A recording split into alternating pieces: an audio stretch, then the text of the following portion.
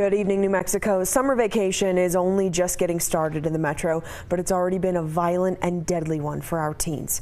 Today, Albuquerque police identified the three victims in a deadly house party shooting over the weekend 18 year old Marcos Perez, Jordan Johnson, and 19 year old Nick Ortega. Someone shot and killed them during a birthday party at a home near Montgomery and Washington early Sunday morning. Just hours later, police say 19 year old Jasmine Lerma's ex boyfriend shot and killed her at a home in the North Valley. And police also confirmed today 18 year old Adrian Porras died after someone shot him in a neighborhood near Unser and Ladera last week. Griffin Rushton joins us tonight with more on this discussion about teens and guns. We're talking about five teens now killed in less than a week.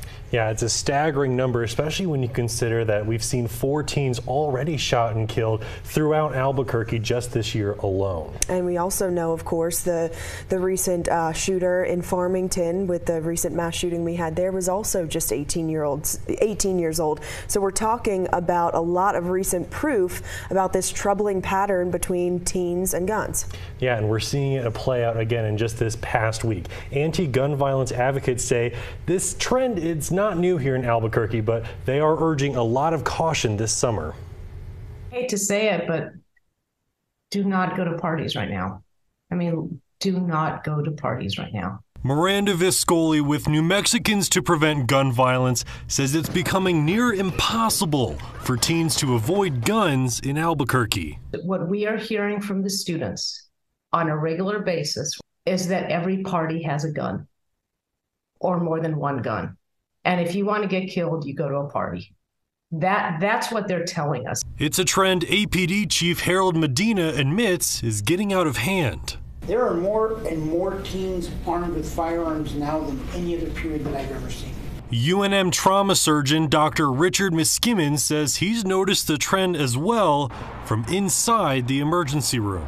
This has increased from what used to be like two a month to what's now about four to five a month. An increase that comes with a heavy emotional toll. Uh, this year alone, I've I've had, I believe, six people under the age of 17 that have uh, been shot and died uh, either in the emergency department or in the operating room. Viscoli believes the rise in teen gun violence is largely connected to an increase in gun sales during the pandemic. So when you get a surge in gun sales, it takes about two years for those guns to start ending up in unsafe hands, and that's what we're seeing. She believes some teens are actively buying and selling those guns through social media, but adds most don't have to look too far.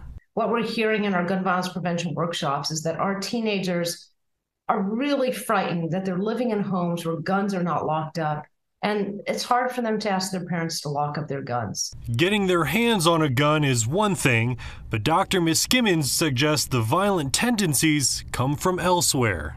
There's a lack of uh, conflict resolution skills among a lot of the, the teenagers and, and those that are affected by gun violence.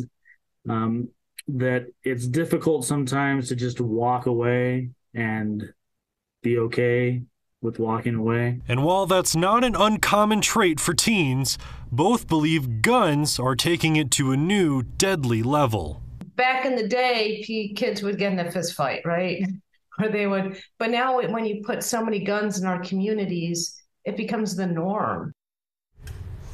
Both Viscoli and Dr. Miskimmins say they're recommending that teens just walk away or just go home when guns you know, are brought out at parties. But if they really want to stay safe, just don't go to these parties in the first place. Yeah, some good advice there, but of course hard to implement. So Griffin, anything we can do at this point to keep the guns out of the teens' hands in the first place? Well, Viscoli says parents have to start locking up their guns. As you heard a lot of these teens say, they're just out and about in their homes. She also says efforts from state lawmakers uh, to block straw purchases. That's when someone buys a gun for another person. And also attempts to raise the minimum age to buy guns to 21 years old are also a good, step. She also believes a 14 day waiting period on gun sales could also do a lot of help here. All right, Griffin, thanks for the update.